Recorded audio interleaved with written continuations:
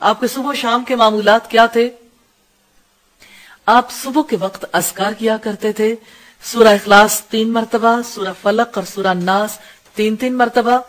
اسی طرح سے بسم اللہ اللذی لا یزر والی دعا آپ تین مرتبہ پڑھتے تھے، پھر اللہم انت ربی، بخاری کی چھ ہزار تین سو چھ نمبر روایت ہے۔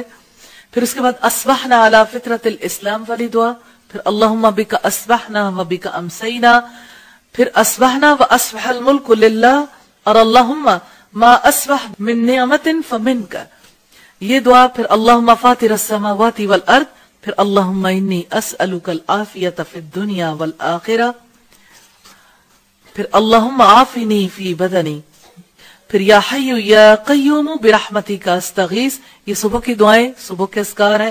شام کے اسکار بھی اسی طرح سے.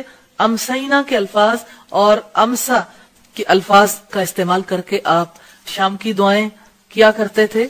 اسی طرح سے شام کی دعاؤں میں خاص دعا، اعوذ بکلمات اللہ التامات من شر ما خلق. تین مرتبہ آپ ارشاد فرماتے تھے۔ آپ لوگ صبح شام کے اسکار یقیناً کرتے ہوں گے، گھر والوں کو بھی کروائیے۔